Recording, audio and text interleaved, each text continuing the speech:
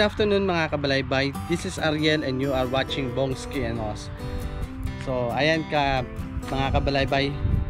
Um, as I promised, uh, gagawan ko ng next video yung uh, about lameness natin. So, in this video, in this second part of the video, uh, I'm going to show you kung uh, paano ko tinitreat yung mga lameness. Okay? So, may nakita tayong dalawang uh, dalawang foot rot at saka isang sole injury. So, ibig sabihin yung sole injury kasi maraming klase yon Yung pagka sole injuries niya, nagkaroon siya ng stone sa kanyang sole and that caused her to be lame.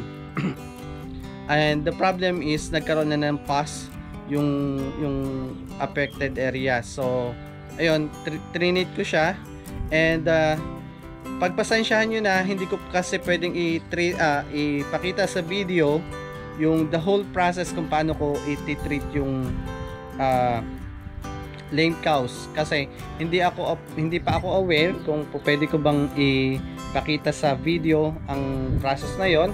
Pero uh, ginawa ko na siya ng paraan na from the start at saka yung finish product nung, nung pagtitreat ko kung paano ko ginawa siya ipinakita ko na lang doon. So ayan. And uh, let's watch the videos that I made earlier. Uh, I think it's yesterday. So let's check it out. So good morning again mga kabalaybay. Uh, ngayon uh, morning pa. So may farm job kami And uh, ang gagawin ko ngayon, mag lelame ako ng dalawang baka. So, samahan nyo ako mag manicure, pedicure ng mga baka. And, ayan. So, ayan po yung dalawa kong bakang ima-manicure.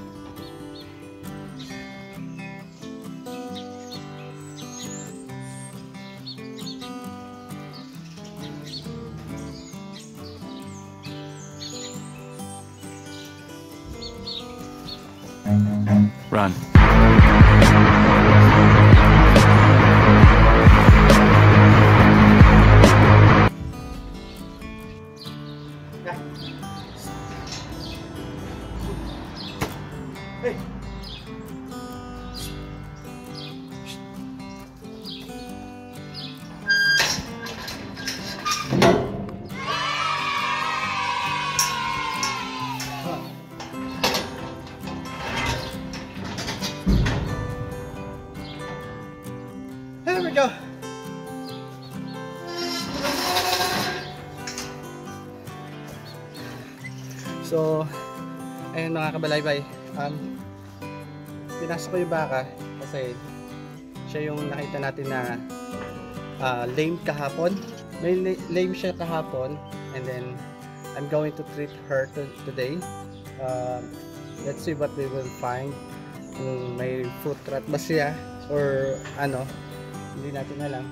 Check natin and treat na rin natin. Yan. So, yan na lang, yan po yung sakit niya. So, ang tawag dito, uh, foot rot. Ang ginawa ko muna, tinali ko muna siya, hindi ko na pinakita sa video.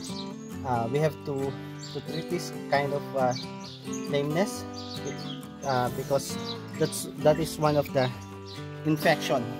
Hindi ko alam kung maganda yung kuha, pero pagpasahin siya nila, pero kailangan ko talagang ano yan. And uh, right now, ay linisin ko muna.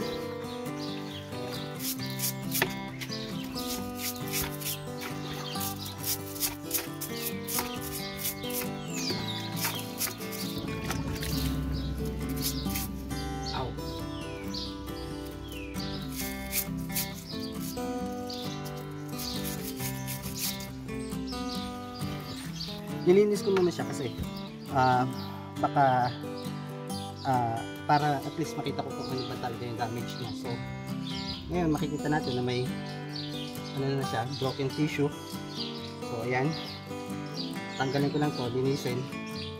And, there's nothing I can do with this with foot rat para gumaling siya kundi bigyan siya ng penicillin so penicillin lang yung makakagamot dito ah 3 3 days of penicillin.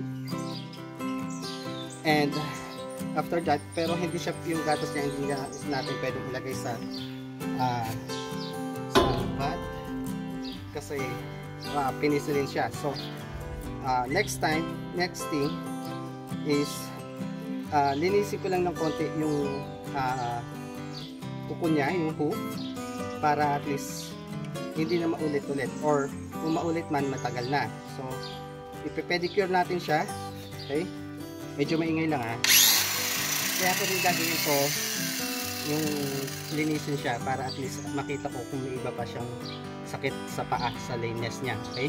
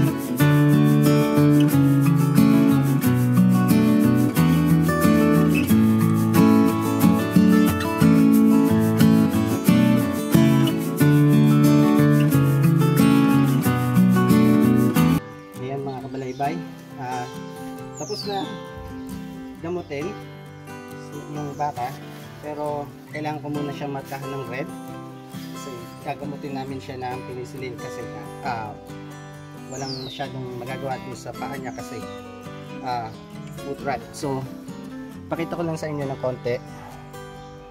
So, saan ba yung paa niya? So, kung makikita nyo, medyo kinorbahan ko dito.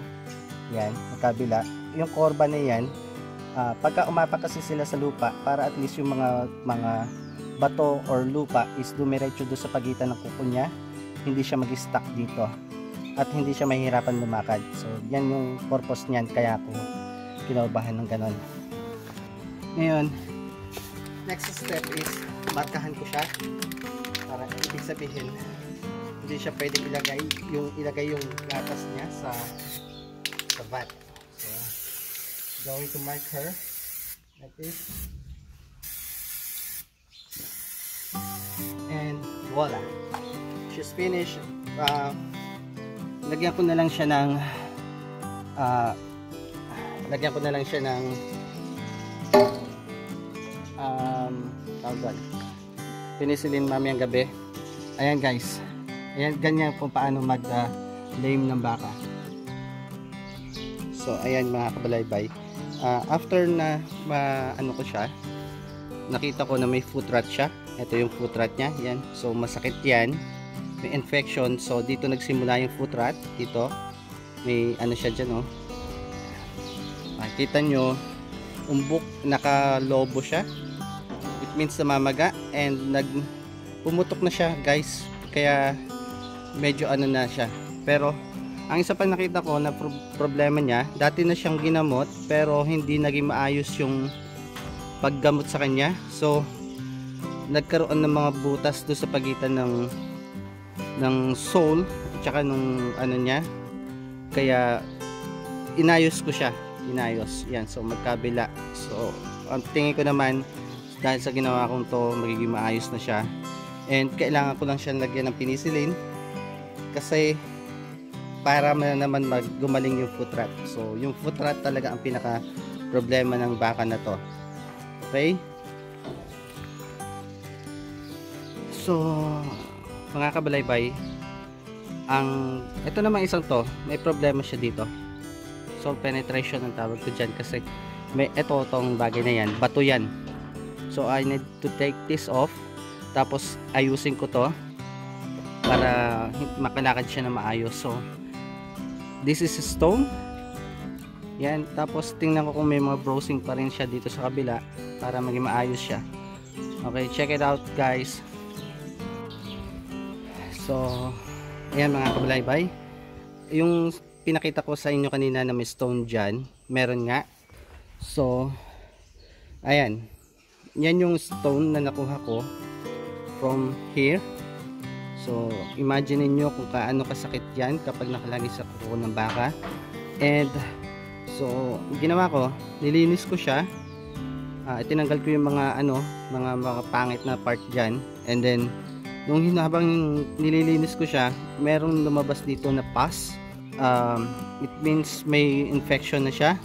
Kaya, pilay na pilay na siya. So, ayan, kaso hindi ko naiwasan na magkaroon siya ng konting sugat kasi hab hinahabol ko nga yung ano niya yung pass so pero ayan okay na siya uh, lagyan ko lang siya ng antibiotic kasi may nana na siya and that's it guys for now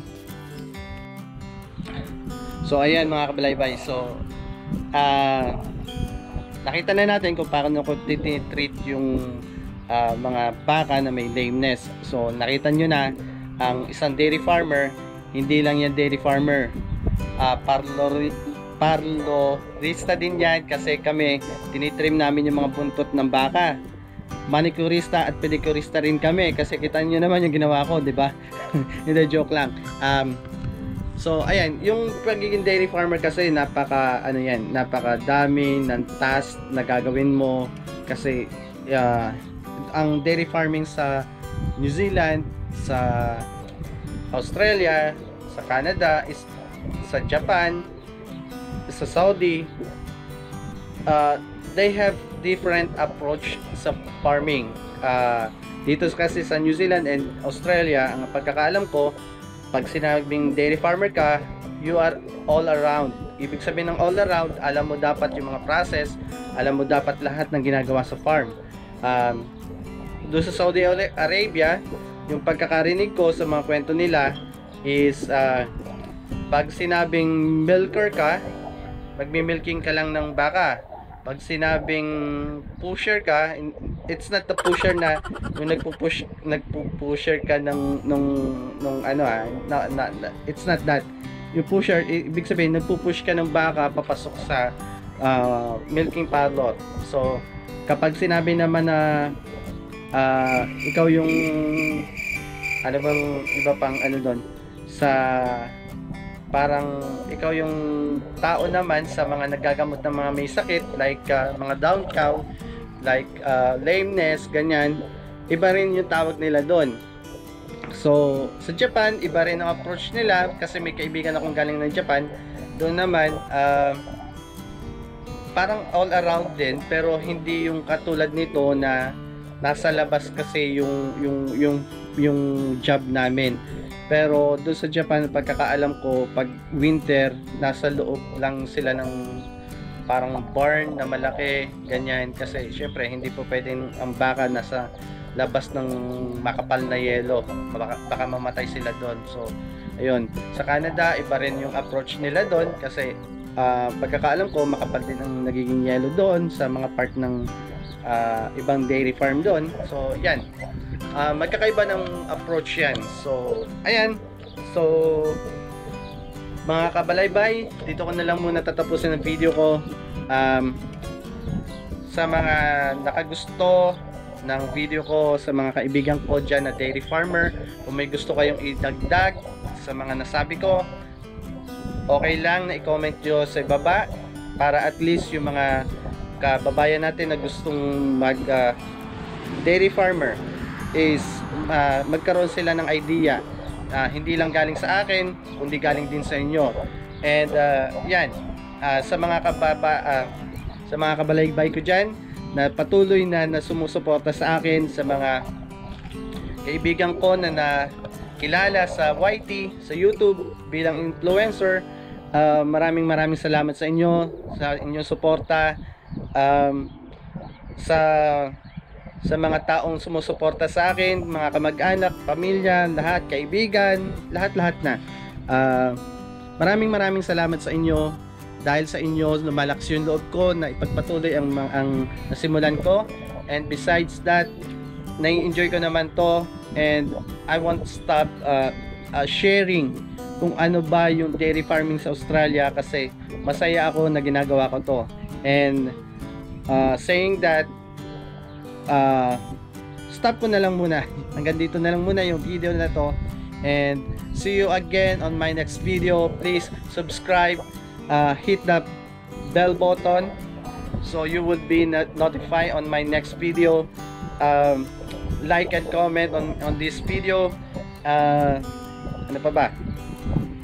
Uh, so yun guys. See you around.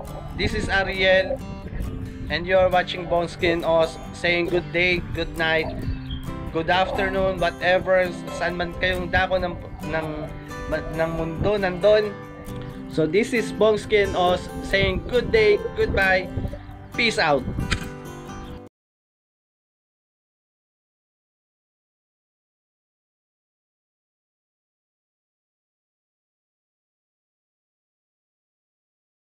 Gumagalaw kasi yung mahirap naka-focus sa mukha ko yung ano yung osmo so pasensya na hindi na ako nag-shave. Ang isang dairy farmer hindi lang yan dairy farmer. Ah parlo parlorista din yan kasi kami tinitrim namin yung mga buntot ng baka. Manicurista at pedicurista rin kami kasi kita nyo naman yung ginawa ko di ba? Hindi joke lang